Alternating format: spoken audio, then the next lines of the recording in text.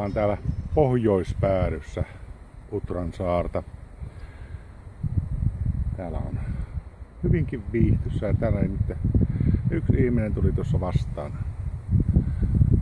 aikaisemmin. Kovasti on paikkoja taas remppailtu. Täällä oli käynyt ilkivaltaakin tekemässä. Elekää tehkö, elekää tehkö ilkivalta. Et, se, se ei hyödytä ketään. Häh typerää semmonen, siis ihan idioottimaista. Eihän nyt ketään jotenkin nuotiopaikkojen rikkominen, niin mitä ihmeen kiksejä siitä porukat saa. Minä ihmettelen syvästi.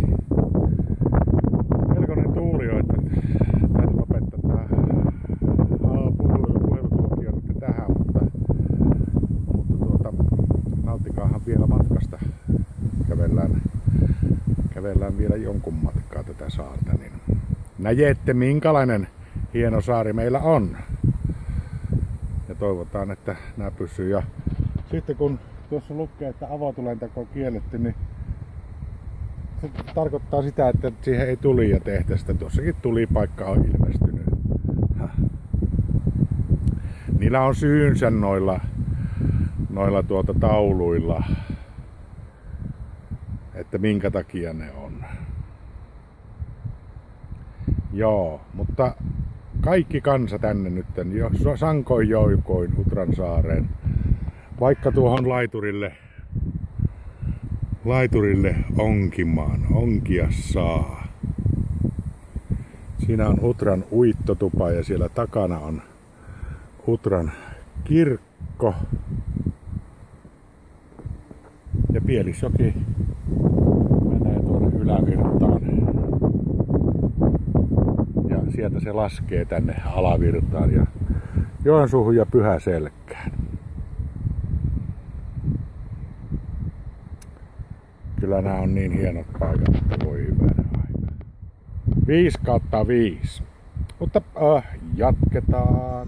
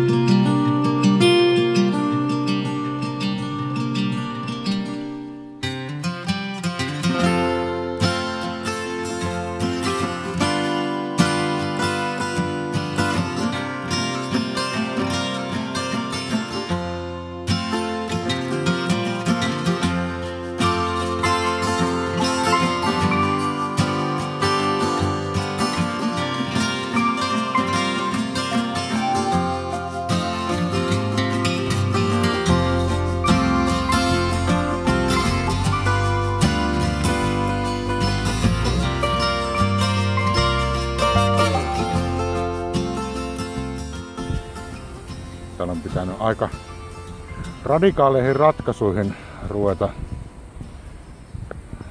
Eli ketjulla laittaa kiinni nämä penkit tänne, että pysyisivät pihatyöläiset. Hyvä se, että töitä on, mutta tihutyöt on asia erikseen. Tihutyöläiset kävi viskomassa penkkejä jokkeen täältä ja voi että siis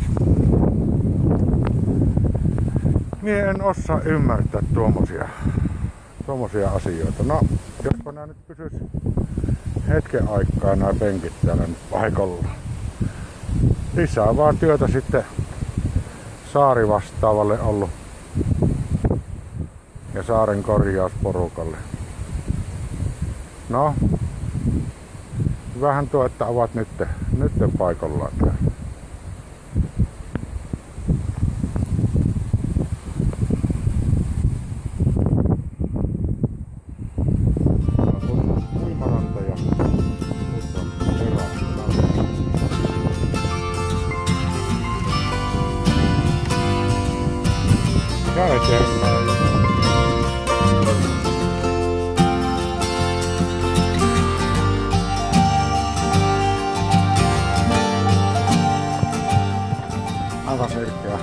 고생을 했거든.